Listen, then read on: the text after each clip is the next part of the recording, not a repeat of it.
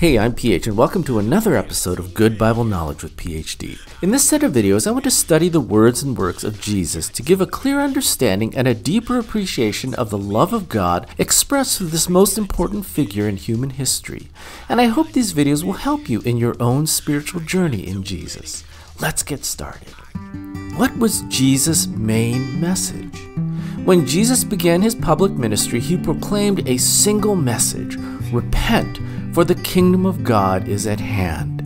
The good news for the people of Israel at that time was that God was about to inaugurate his holy kingdom on earth, which was foretold in Psalm 2. The kingdom of God is a time when God promised to bring never ending peace and prosperity not just to Israel, but to the entire world through the benevolent reign of the Messiah, Jesus, the King from heaven. The inauguration of this kingdom was dependent, however, upon God's people acknowledging Jesus as the Messiah, the only Son of God. And in the following days, Jesus' life, his teaching and miracles would instruct the people about the coming kingdom and present irrefutable evidence that he indeed was the genuine Messiah. While Jesus and his disciples were attending a wedding at Cana, Jesus performed his first recorded miracle in the Bible. During this festive event, the host unexpectedly ran out of wine for the guests, and Jesus' mother Mary saw an opportunity for Jesus to perform a miracle and publicly claim his right as the Messiah. But Jesus replied that this was not in accordance to God's plan. Instead, he privately instructed the servants to fill the empty jars with water to the brim and bring them to the wedding host. When the host drew from the jars, behold, water had miraculously turned to wine.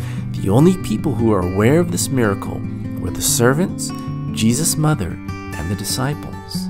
A few days later, Jesus and his disciples went to Jerusalem to observe the Passover, an important Jewish event. When they arrived at the temple for worship, Jesus was stirred when he saw the temple grounds were resembling more of a marketplace than a holy sanctuary. The priests at that time were corrupt with greed and used this sacred event to make a great profit at the expense of the worshippers. Worshippers traveled great distances to Jerusalem, bringing the very best of their livestock to present as an offering to the Lord. The priesthood was in charge of inspecting these offerings to ensure that these animals met the requirement of being pure without blemish.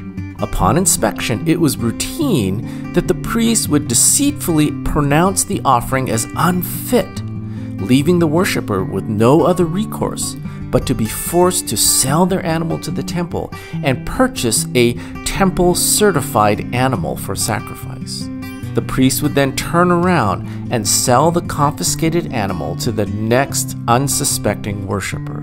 This corrupt practice made the temple very rich at the expense of the common people and turned a most holy day into a complete mockery of God. In a rare display of holy fervor, Jesus made a whip out of cords and overturned the tables and drove the profiteers out of the temple of the Lord. And the Bible tells us that Jesus' actions caused many observers to put their faith in him. What do these two early events have to do with Jesus' message regarding the kingdom of God? In regards to Jesus' first miracle, wine is a prominent symbol in Old Testament prophecy, and it represented the abundance and celebration associated with the kingdom of God. When Jesus turned the water into wine, he was in fact showing that he was God's chosen king who would bring this kingdom to earth. Jesus' actions in the temple displayed another aspect of the kingdom of God. By clearing the temple of its corruption, Jesus foreshadowed the day when God would expose the sin of the world and bring justice and righteousness on earth. Both judgment and joy would be central elements to the kingdom of God.